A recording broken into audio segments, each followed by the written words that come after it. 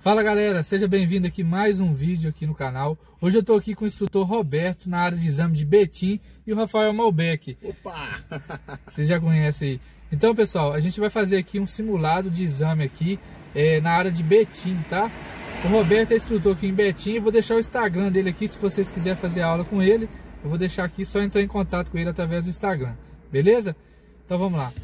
Então, Alberto, a gente vai fazer um percurso aqui, você vai ditando aí para mim. Liguei, né? Preparei, é, porta, conferi a porta, ajustei o banco, retrovisor, o cinto. Agora eu vou colocar no neutro e vou ligar o motor. Vamos lá. Isso aí. Então eu posso sair. Vamos lá, observa, sinaliza. Seta. Cabeça do lado de fora. Importantíssimo. Tem que pôr a cabeça do lado de fora. Sempre sair olhando um pouquinho no retrovisor do meio, ó. Vambora. Vamos fazer uma conversão para a esquerda agora, Thiago. Esquerda, seta, retrovisor, posicionar a esquerda, né? Agora a gente vai parar aqui na. Aqui não tem parada obrigatória, não? Não, mas é por causa da preferencial, né? Então que eu posso ir. Isso. Que é uma via preferencial, tá galera?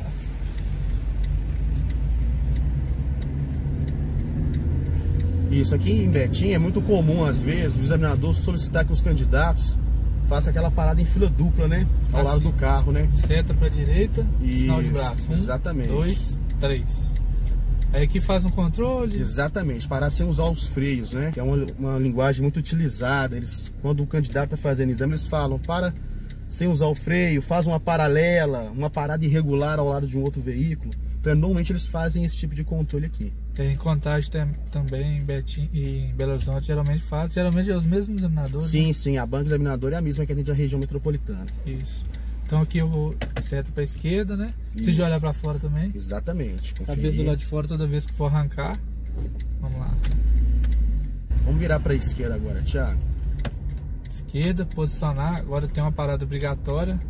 Isso. Parar usando o freio, tá? Não pode parar só no controle. Tem gente que finge que para no controle e avança, Aí eliminado. perde o exame. Beleza. Então aqui olhando o retrovisor.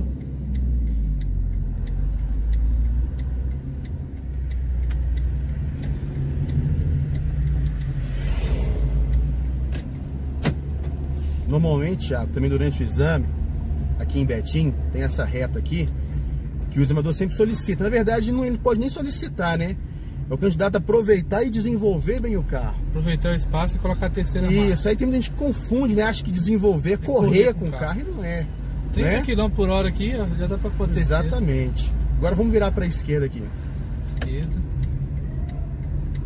Reduzir a marcha, tá? Fazer a conversão sempre de segunda.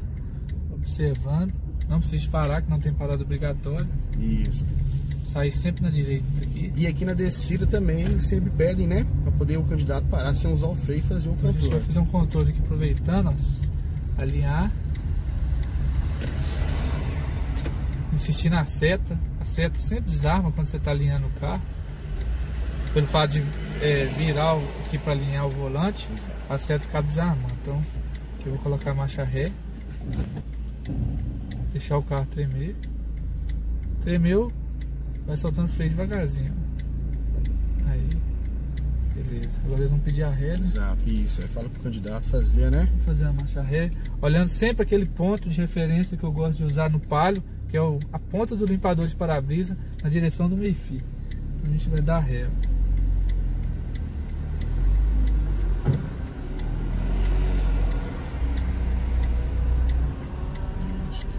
Tá bom? Ir? Tá ótimo. Parar no controle. Para no controle. Isso aí. Beleza. É isso aí, pessoal. Então aqui na hora da ré é muito importante na hora de parar o carro, pa- procurar parar bem alinhado, mais alinhado possível. Sempre quando você for dar ré, geralmente o carro vai para dentro, para fora. Você tem que corrigir aqui. Quanto mais você parar alinhado, menos vai precisar de você corrigir aqui teu o, o volante aqui, né? Perfeito, isso mesmo. Então a gente vai sair primeira, cabeça do lado de fora, Isso. já solta a embreagem, coloca a segunda.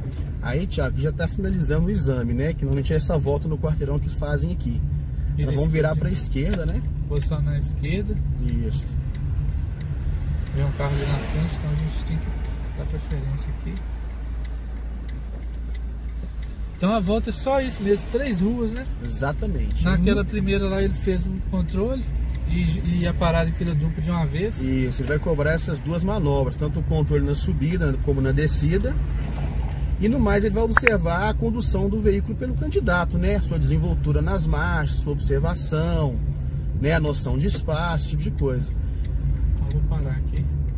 Então o exame ele é muito rápido, né? Também por causa da quantidade de candidatos que tem. Então eles pedem com que o aluno tenha desenvoltura, domínio do carro, né? Seja tenha uma expertise na, na condução do veículo. Você falou, é muito importante não esperar o examinador pedir para colocar a terceira, né? Exato. Teve espaço, já coloca, porque o exame é muito curto, né?